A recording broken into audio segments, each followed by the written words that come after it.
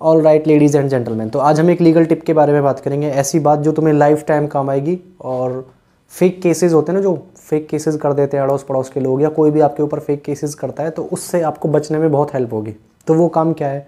तो यार देखो, वैसे सिंपल काम है वो, आप और, आपको और मज़ा आएगा। जहाँ भी जाओ ना, आप फ़ोटो लिया करो। जैसे आप लेते हो फ़ोटो लेते हो वीडियो लेते हो, होता ना भाई, हम कहीं भी जाते हैं। फॉर एग्जांपल हम कहीं गए तो हमने फ़ोटो ले लिया, कहीं भी। तो हमेशा ये काम ज़रूर किया करो। फ़ोटो वीडियो जो भी तुमसे हो सके वहाँ की एक मेमोरीज़ कैप्चर किया करो। अब क्यों? देखो वैसे तो तुम्हारे काम आएगा वो मेमोरेबल मेमोरी बनाने के लिए कि हाँ भाई हमारे वहाँ पे गए थे यादगार। लेकिन तुम्हें ना लीगल हेल्प भी देते हैं वो चीज़ें। अब वो कैसे देती है मैं आपको एग्जांपल देता हूँ। फॉर एग्जांपल मैं हूँ ठीक है? अब मैं कहीं गया हुआ हूँ हम्म, और मैंने वहाँ के फ़ोटो लिए हुए हैं। और कोई पर्सन मेरे खिलाफ केस करता है कि भाई इसने मेरे साथ बदतमीजी करी है। तो जब भी जो कोई केस करता है ना या फिर एफआईआर कराता है कंप्लेन करता है तो उसमें ना टाइम प्लेस लिखा होता है। कि भाई इसने यहाँ यहाँ पे मेरे ऐसे ऐसे केस किया था। अब फॉर एग्ज़ाम्पल मैं कहीं गया हूँ, ठीक है? मैं जेल विज़िट करने गया हूँ फॉर एग्ज़ाम्पल ठीक है? अब वो बंदा या बंदी कह रही है कि इसने मेरे साथ इस तारीख को यहाँ यहाँ ऐसे ऐसे वो किया है। अब उस तारीख को तो मैं कहीं और हूँ, समझ रहे हो? उस तारीख को तो मैं कहीं और हूँ। मैंने शो कर दिया ना मैं कहीं और हूँ। तो एक बंदा दो जगह कभी वो नहीं हो सकता ना अवेलेबल भाई, उसने से तेरे साथ छेड़छाड़ भी कर दी और वो जेल भी विज़िट हो गया, समझ रहे हो? हम्म। तो हमें डिफेंस मिलता है। इस डिफेंस को इंडियन एविडेंस एक्ट में बोलते हैं प्ली ऑफ़ एलिबी यानी relevant facts relevancy of facts में आता है प्ली ऑफ़ एलिबी बस प्रोविज़न अगर तुम्हें जानना है कि प्रोविज़न कहाँ मिलते हैं इसके तो section eleven of Indian Evidence Act में मिलते हैं प्ली ऑफ़ एलिबी ठीक है? समझ रहे हो? तो जहाँ भी जाओ आप कहीं भी जाओ फ़ोटो खींचा करो। हम्म, अब देखो ये मेरा एक फ़ोटो है ठीक है?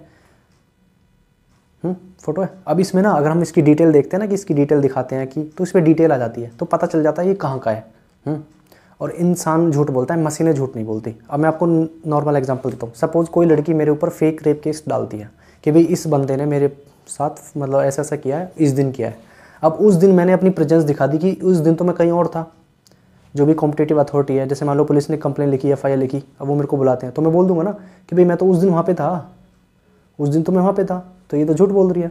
या फिर मान लो तुम्हारा तुम्हें क्वेश कराना है, है? हाई कोर्ट से क्वेश करानी है कंप्लेन तुम्हारे खिलाफ एफ़ आई आर हो गई है झूठी और तुम्हें कम वो करानी है क्वेश करानी है। तो तुम हाई कोर्ट जा सकते हो कि देखो जी उस दिन तो मैं यहाँ पे था ये तो झूठ बोल रहे हैं। तो हाई कोर्ट अपनी डिस्क्रिप्शन पावर यूज़ करके उसको क्वेश कर देगा।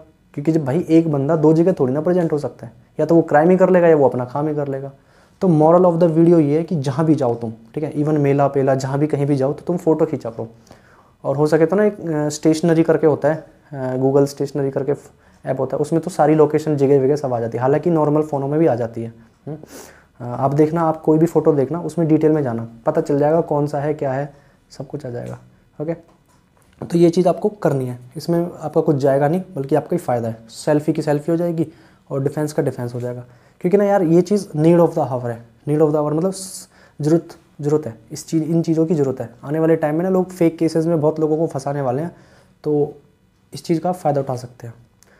तो I hope it is clear okay तो आप सेल्फी वेल्फी लोगे, जहाँ भी जाओगे चिल करोगे सेल्फी लो वीडियो बनाओ। हो सके तो वीडियोज़ ही बनाओ, ताकि वीडियोज़ में तो क्लियर ही हो जाता है okay so I hope it is clear bye